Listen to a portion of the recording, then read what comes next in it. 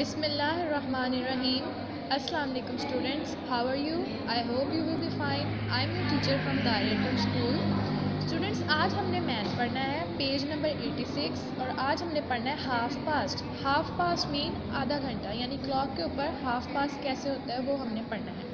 यहाँ पर देखें When the minute hand points at 12 then it tells o'clock time आपको पता है जब मिनट हैंड यानी जो लॉन्गर वाला हैंड है जब वो 12 पर होता है तो हमारे पास टाइम ओ क्लॉक में होता है यानी एक आवर एक घंटा हमारे पास कंप्लीट हो जाता है When the minute hand covers half the clock and points at six, then we say half past.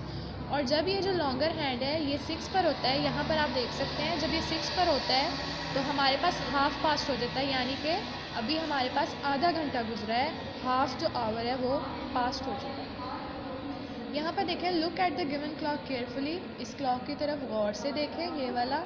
The minute hand is pointing at six जो हमारा मिनट हैंड है, जो लॉन्गर वाला हैंड है, वो सिक्स के ऊपर है।